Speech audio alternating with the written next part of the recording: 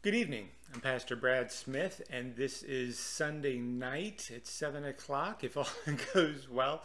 Uh, this is what we call Palm Sunday. What my intention is uh, throughout this week is to every night at 7 o'clock to drop on Facebook Live just a short devotion uh, thinking about what Christ did for us on that amazing week, the week that He had intentionally determined to go to the cross and to be raised from the dead on that resurrection Sunday. Uh, so I hope that uh, during this week you'll be able to just take five to ten minutes and, and watch these devotions and go through the scripture and to pray and to seek God's face uh, as we may be doing this a little differently than we would like or that we would normally. Uh, but God can use this time as amazing uh, benefit and blessing and for His glory, obviously, above all else. And that's actually what I want to do tonight. That's the topic of the devotion tonight is God's certain plan of salvation. Since this is Sunday in Passion Week, we'll be looking at John chapter 12, verses 12 through 19. And this gives us uh, John's account of what we call the triumphal entry on that Palm Sunday. So if you have your Bibles, go ahead and turn to John chapter 12. We'll read through it together now. The Word of God says this The next day, the large crowd that had come to the feast heard that Jesus was coming to Jerusalem. So they took branches of palm trees and went out to meet him, crying out, Hosanna! Blessed is he who comes in the name of the Lord, even the King of Israel. And Jesus found a young donkey and sat on it, just as it is written, Fear not, daughter of Zion. Behold, your king is coming, sitting on a donkey's colt. His disciples did not understand these things at first, but when Jesus was glorified, then they remembered that these things had been written about him and had been done to him. The crowd that had been with him when he called Lazarus out of the tomb and raised him from the dead continued to bear witness. The reason why the crowd went to meet him was that they heard he had done this sign. So the Pharisees said to one another, You see that you are gaining nothing. Look, the whole world has gone after him. And in this, we have John's account of the triumphal entry. Uh, again, the theme is going to be that God's plan of salvation is certain and sure, regardless of how people respond to it and regardless of what is going on in the world.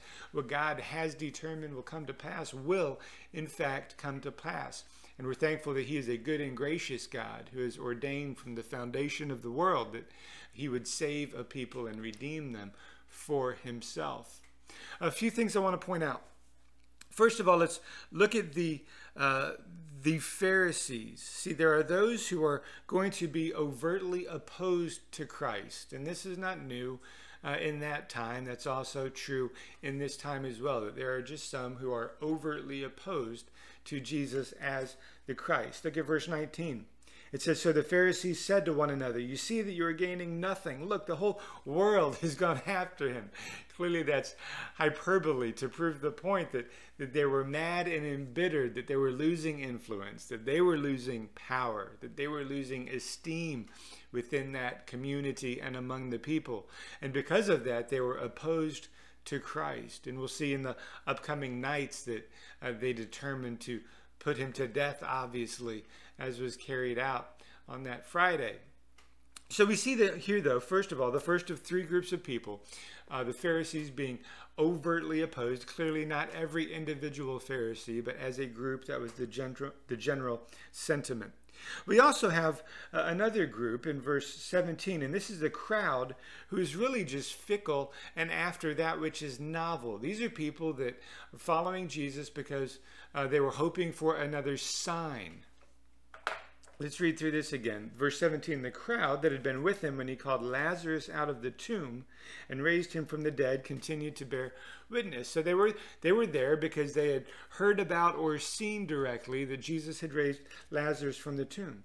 But then it says in verse 18, the reason why the crowd went to meet him was that they heard he had done this side. So there's some people who are saying, yes, Jesus raised Lazarus from the tomb. And then you have others who heard them say that, and they're just, again, the fickle crowd out to follow Jesus or to hang around him to see if he's going to do something that they find new, novel, or entertaining. So who knows what they really thought, and maybe there were some among this crowd who would be saved later.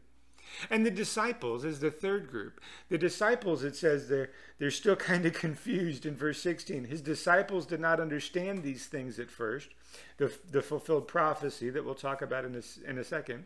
His disciples didn't understand these things at first, but when Jesus was glorified, then they remembered that these things had been written about him and had been done to him. So even among the disciples who were following Jesus, you see that, that they don't understand completely what's going on. And at the time, they certainly didn't understand the significance of what he was doing during the triumphal entry, uh, entering Jerusalem on that Palm Sunday. This is the week that he's intentionally going to the cross to die for sin, to redeem a people for himself. This is the Sunday of that week. So we have these three groups of people the overtly opposed, those who are just hanging out with Jesus to see signs, maybe, and then the disciples who are devout followers of Christ, but clearly not uh, understanding everything going on. And I would like to point out that even though that was all of the people's response to Jesus on that day, none of those responses whether hostile, seeking the novel, or confused, none of those responses impacted or thwarted at all God's good and gracious plan to save. Now, notice a couple things also. That God graciously had given them many signs. That Jesus is the Christ, that this week is, is going to be a special week in the life of Christ and in humanity for all eternity. Jesus had intentionally decided, uh, Luke tells us, before this point, to head to Jerusalem at this time. He had spoken to his disciples a few times already that he would be uh, handed over, that he would be crucified, killed, and then on the third day he would come back from the dead. He would be resurrected. So he had explained these things. We have the Old Testament prophecy as well. And then verse 15 here in this chapter, in this passage, in John 12, verse 15, is itself a, a, quotation from Zechariah chapter 9, verse 9. This is fulfillment of an Old Testament prophecy. So even this action of Jesus entering Jerusalem in this way, at this time is a gracious sign by God to pay attention to his son. Now, the miracles that Jesus had performed, whether it was healing of the sick or, or, casting out of demons, showing his power over health, over nature, over creation, and even over the spiritual realm, were all gracious signs by God to point them to Jesus as the Christ. The miracle of raising Lazarus back from the dead is mentioned right before this passage. It says in verse 9 in John chapter 12 When the large crowd of the Jews learned that Jesus was there, they came not only on account of him, but also to see Lazarus, whom he had raised from the dead. And then it says, So the chief priests had made plans to put Lazarus to death as well. Based on account of him, many of the Jews were going away and believing in Jesus. So Jesus raising Lazarus from the dead was a sign that he is who he said he is. So God had given all of these good and gracious signs to them to point them to Christ, to point them to the specific work that he was about to accomplish. And then still, different people responded in different ways with again overt hostility or antagonism or apathy or confusion at the time. And none of those responses impacted uh, God's plan. And again, I'd like to take some time to, to just think about that. And I hope that in your homes you'll take some time perhaps to discuss what that means. And our confusion, even though we don't fully understand what God is doing, doesn't mean that He's not working and that He's not in control. That's clearly illustrated from this passage.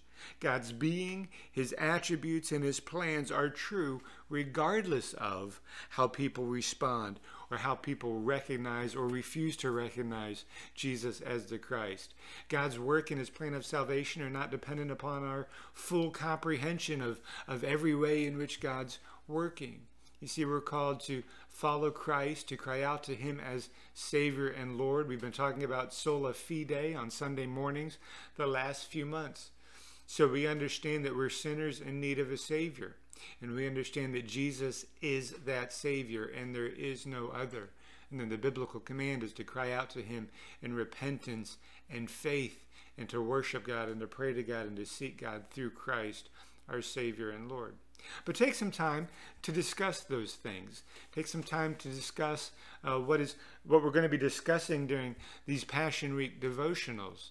But take comfort believer, knowing that God is in control, that his will will come to pass, and it's not dependent upon anything within man to make that happen. It's dependent fully upon the will and power of a good and gracious God.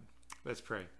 Father, we are thankful that we know that you are good and gracious, and we're thankful that we know that you are trustworthy and true and will be faithful to fulfill your promises for your glory and for your people. Lord, in these times of uncertainty, we pray that you would be our certainty. In these times of doubt, that you would be our surety and that you would continue to grant us faith. We pray that you would uh, bless these devotions, bless this time this week, strengthen our faith, turn the hearts of your people toward you, and be pleased with uh, our heart's devotion and attention and motivation. And may we live a life for your glory. In Christ's name we pray. Amen.